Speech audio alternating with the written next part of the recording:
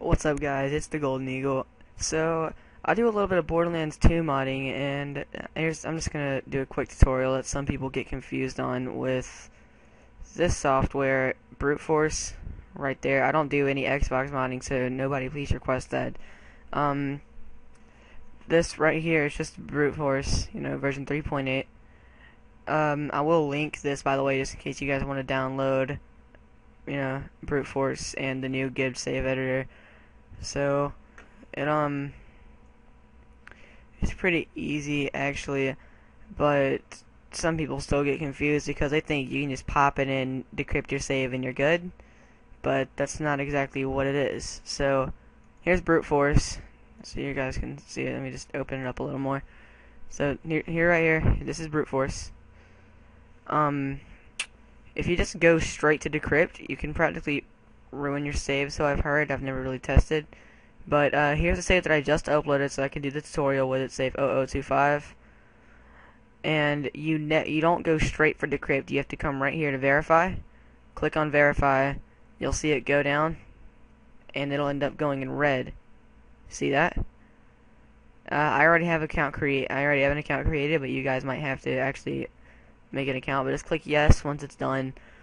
You'll see it go right back through the verify process. Once, you know, it's a little bit of lag because of the fact that I'm filming, but, um, there we go, come on. There you go, brute force, look. Done. See, it. last time I said disk hash key was a fail and console hash key was like a no. Now it's all fixed. Now you just got to decrypt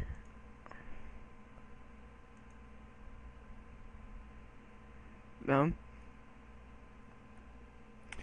Then go over here, click on open.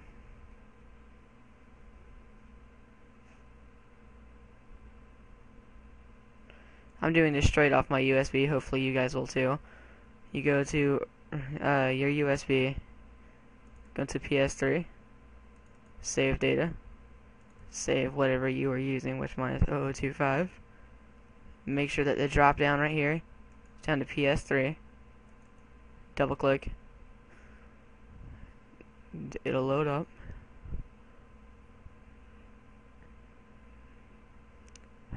Come on. I need to download the new Gib, uh, Gib myself. I have revision 224 and there's a revision 227 now. There we go. So I'm just gonna bring this up to the top real quick so you can see all of brute force now. You can click on character right here. Um, mine was originally an assassin, and I had these right here. This is the community day heads and skins, which you do not have to buy to equip using this. So you can still get them for free. Then go down here if you want to uh, click whatever class you want. You do not have to buy the Mechromancer or Psycho to do this either. Already find I found that out. Alright, I'm going to swap back to my assassin. You see his overpowerment level right here. You can swap that to just whatever you want to. You know, just a random number. Look. So, just swap it to whatever you want. He'll end up doing something like that. But, uh, you go back, customization. You can pick really whatever you feel like you want.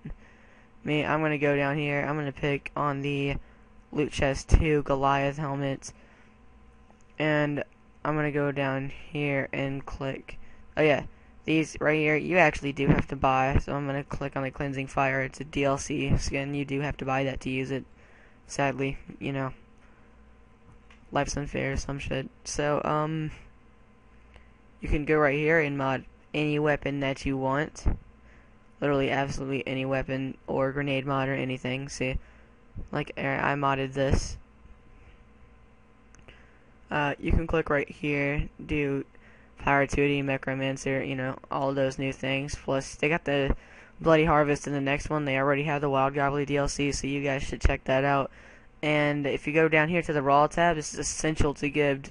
Thank you, Gib, for creating this. Um, you can actually look through all these, change your mission number. Uh, right here at the Black Market Upgrades, you change them all to like that, right there. You can give yourself infinite ammo. After you do that, though, you have to go... Huh, I think it's resource data, if I'm correct in that. do believe it is. Well, yeah, it is. See?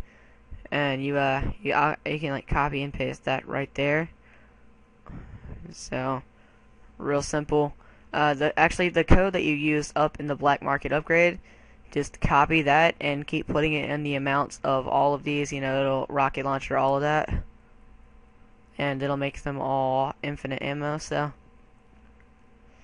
that's something easy. Uh, if you want to mod your skills, you go right here to skill data, pop that up. You can make everything that you want there, all like a level five and all that stuff.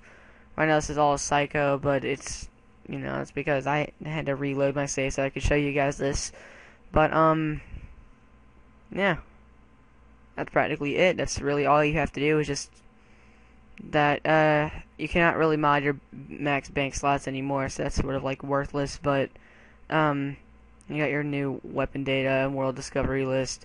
Plus, there there is a new keys right here. You see the import skills, missions, world, and stats.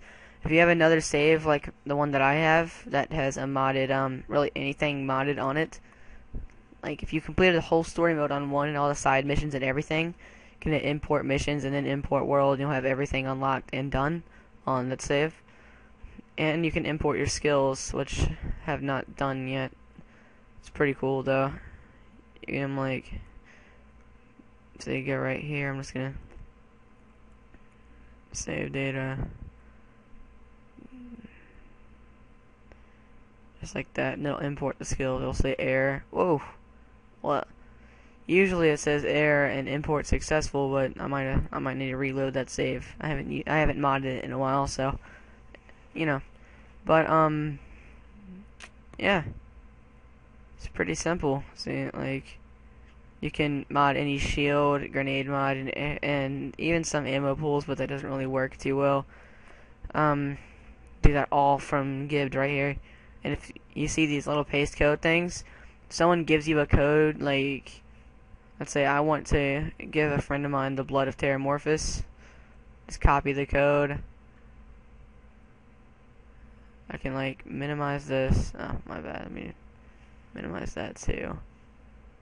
And look, I can just paste it. That right there would be the code for the blood of Terramorphous.